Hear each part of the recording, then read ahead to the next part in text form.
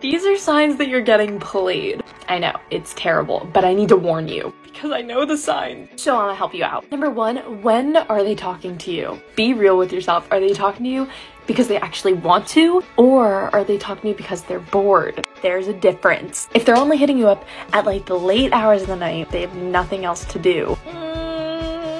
See, I'm just not getting the wholesome vibes there. Someone that really likes you is gonna talk to you when it's not convenient for them too. Another sign you're getting played is watch how often they ask about you. Are they actually trying to get to know you? Or does it seem like they only bring up shallow topics, talk about themselves? If so, oh, I hate to tell you this, but you needed to know.